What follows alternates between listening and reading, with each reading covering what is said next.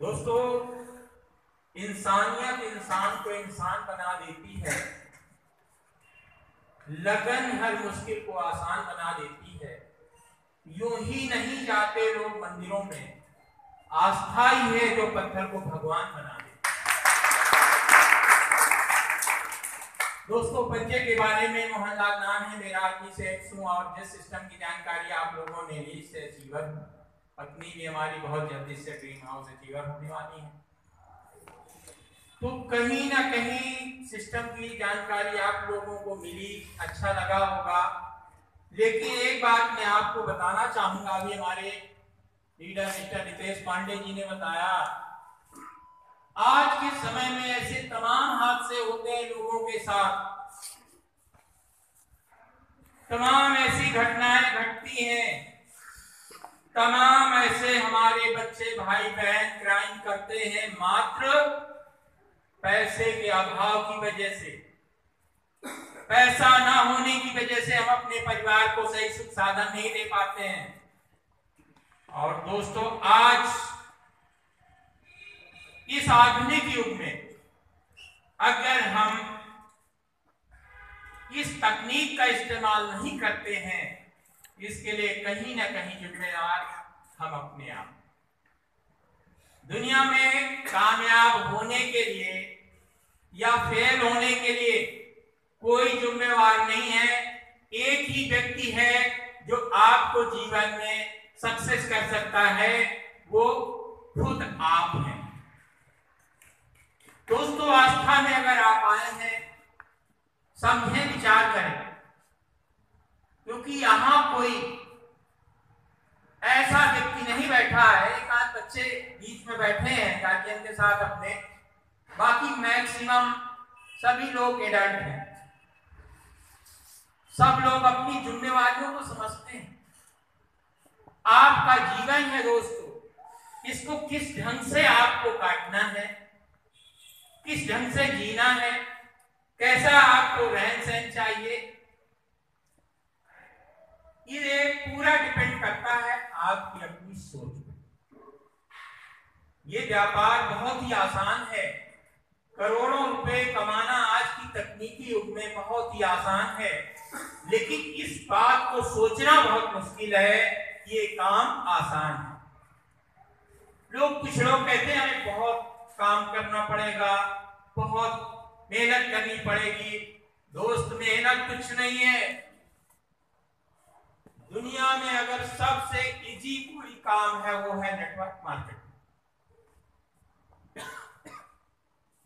अगर इस काम को आप मेहनत वाला काम समझते हो, दोस्त तो माइनस चालीस डिग्री में जो लोग सर्विस करते हैं एक हमारा भाई सियाचिन ग्लेशियर में ड्यूटी पे खड़ा रहता है।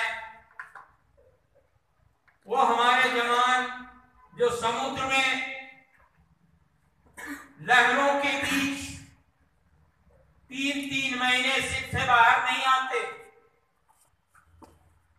एक हमारा किसान कड़ाके की ठंड में खेतों में रात में काम करता है रात में पानी फ़सल में लगाता है वो नहीं देखता है कौन सा जीव है कौन सा जानवर उस पर अटैक कर देगा कौन सा जहरीला कोई कीड़ा उसको काट लेगा। लोग इतना हार्ड वर्क करते हैं जिसकी कल्पना आप नहीं कर सकते हैं। और फिर भी उनको उतना ही मिलता है जिससे उनकी रोज़मर्रा की ज़िंदगी चलती है। ये आपको सोचना है, कैसा काम करें आप? लंच के लिए काम कर रहे हैं या लाइफ के लिए काम कर रहे हैं? तो दोस्तों, आप वो सब कुछ कर सकते हैं जो आप सोच सकते हैं, इसलिए अपने लिए एक बार जोरदार तालियाँ बजाइए। दोस्तों, एक बार जंगल में एक शेर टहल रहा था, उसने एक खरगोश को देखा। शेर की नज़र खरगोश पे पड़ी और खरगोश ने भी शेर को देख लिया। शेर ने जो है उसको झपटना चाहा, लेकिन इससे पहले कि शेर उसको झपटता खरगोश अपनी जान बचा करके भगा। काफ़ी दूर भगने के बाद खरगोश ने समझा, मैं बचूँगा नहीं, शेर मुझे खा जाएगा। वो एक छेद एक छेद में घुस गया, बिल के अंदर घुस गया। जब बिल के अंदर घुस गया तो शेर भी दौड़ता हुआ उसके पीछे पीछे गया। और काफ़ी देर तक वहाँ बैठ करके इंतज़ार करता रहा कि शायद अब निकलेगा लेकिन जब खरगोश बिल से बाहर नहीं निकला तो उसने पूछा, शेर ने पूछा खरगोश से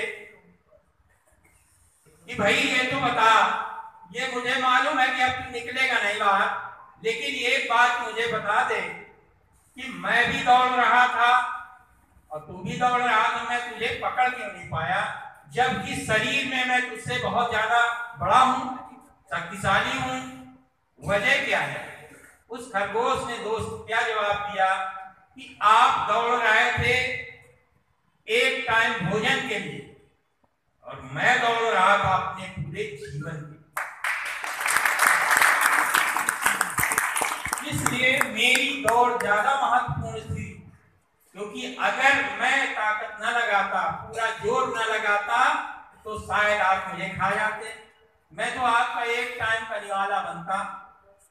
दोस्तों, ये हमें आपको समझने की ज़रूरत है, सोचने की ज़रूरत है कि जो भी हम काम कर रहे हैं, जहाँ भी लगे हैं हम आप।